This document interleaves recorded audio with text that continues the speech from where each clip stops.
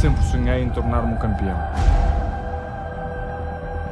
É preciso determinação e vontade de vencer. Začalo padat listí ze stromu a ráno pěkně přituhuje, což je neklamným znamením příchodu podzimu. Zatímco spousta lidí začíná vytahovat nepromokavé oblečení a ve skříni štrachat po teplém svetru, fotbaloví nadšenci vítají konec léta jako svátek. V jejich očích totiž nastává čas, kdy se zabední u svých počítačů nebo konzolí a budou si užívat nový ročník digitální kopané.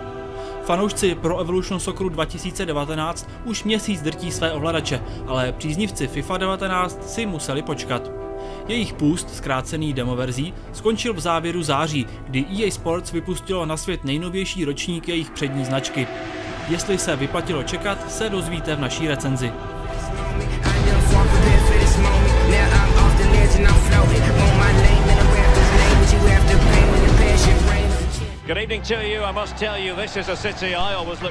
Snad každý trailer či materiál, který v průběhu reklamní kampaně ukázal vydavatel EA k nejnovějšímu ročníku jeho fotbalové simulace, hrdě dával najevo, že se ve FIFA 19 konečně objeví Liga mistrů a Evropská liga, na kterou se pořád zapomíná. Nejnovější čutání však obsahuje nad očekávání velký počet novinek v hratelnosti, takže exkluzivní licence jsou v jejím stínu.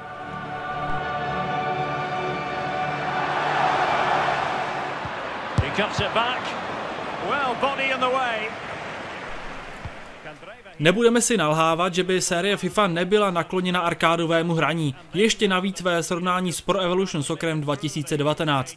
To ovšem neznamená, že by tvůrci úplně kašlali na realističnost prožitku, právě naopak. Už během prvního mače poznáte, že se hodně pracovalo s fyzikou míče a hráčů. Chlapíci z druhé ligy budou mít občas problém skrotit míč, který jim bude létat kam se mu zachce. S rostoucí úrovní fotbalistů se počet chyb tenčí, ale ani s Ronaldem nemáte jistotu v každém okamžiku. Balon si především v soubojích umí postavit hlavu a všelijak odskakuje, podobně jako ve skutečnosti. Nejcitelnější novinkou je nový mechanismus střelby, umožňující vykouzlit dokonalé dráhy míče přímo do branky. Nový mechanismus funguje skvěle a pocit, že jste dokázali něco parádního, je potvrzen spokojeným zavrněním gamepadu.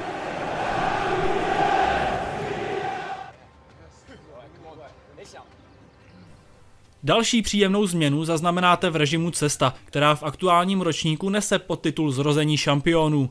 Do další kapitoly životního příběhu Alexe Huntera, jenž zažívá krušný osud superhvězdy, se zapojuje jeho sestra Kim, toužící stát se národní reprezentantkou, a jeho kamarád Danny Williams, bojující o místo v sestavě Arsenálu. Prolínání jednotlivých dějových linií vůbec neruší a naopak se skvěle doplňují. Michael, why are you late anyway? Well, I just came from a meeting with Roger about investment opportunities and, you know, you gotta speculate to uh, accumulate and all that and everything. Right. Women here are the ones we want to take all the way to France. Téměř žádných změn jsme se nedočkali v režimech kariéry hráče nebo trenéra. Mnohem více než od stolu vedoucího týmu můžete do průběhu zápasu promluvit trenérskou prací. EA totiž zapracovala na předzápasové přípravě, díky čemuž můžete svému týmu na míru naordinovat mimo rozestavení také útočnou a obranou aktivitu v různých situacích. Během zápasu lze jednotlivé taktiky volně přepínat, čím spolehlivě zamotáte hlavu nejen umělé inteligenci, ale také živým oponentům v rámci multiplayeru.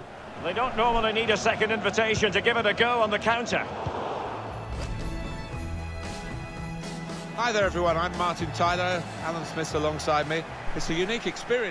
Právě díky zápolení na síti totiž řada hráčů vyhledává a pravidelně kupuje jednotlivé díly ze série FIFA. Letos opět budete skládat svůj tým z kartiček vysněných fotbalistů, vybírat vhodného trenéra, prodlužovat smlouvy, hledat hostující superhvězdy a organizovat hru celého manšaftu. To se samozřejmě změnit nedá. Ale překopán byl princip zisku měny na nákup dalších balíčků nebo přímo jednotlivých čutálistů. Řádit tak budete v týdenních turnajích, pokud tedy nechcete sahat po své, či maminčině, kreditní kartě častěji než by bylo zdrávo.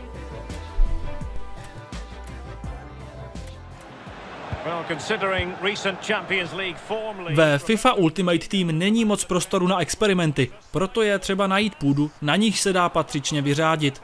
Tradicionalisty možná trefí šlak, ale ve FIFA 19 existuje místo, kde si můžete přizpůsobit dění na hřišti čistě podle svého gusta.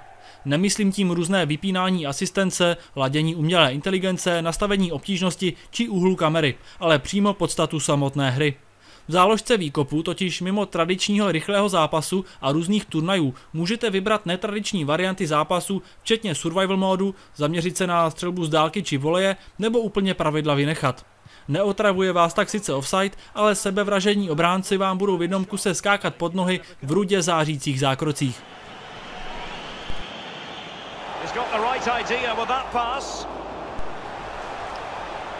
Prozatím jsme aktuální ročník kopané od EA chválili.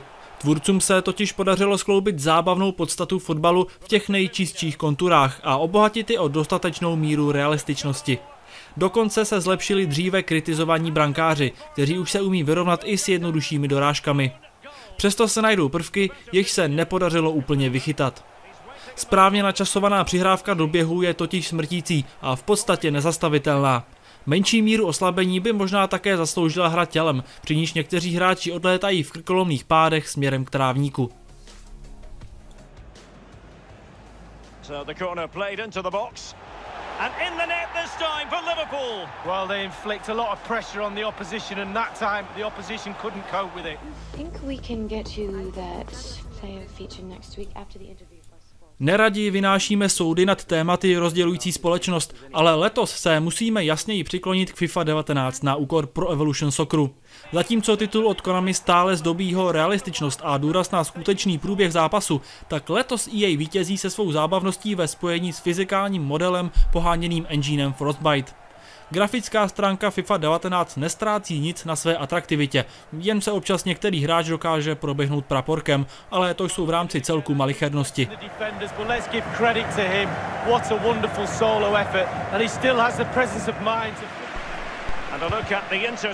Letošní díl FIFA 19 sice vypadá na první pohled stejně jako jeho předchůdce, ale každý kovaný fanoušek pozná na vlastní ovladače, jak moc se jádro hratelnosti posunulo. Zpracování míče, osobní souboje a kontrola střelby ve spojení s timingem zkrátka ukazují, že současný díl není jen o aktualizaci soupisek jednotlivých týmů.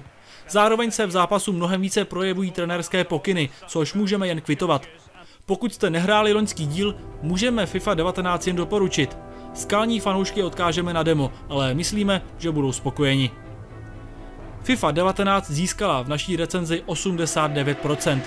Detailní textovou recenzi si můžete přečíst na alza.cz.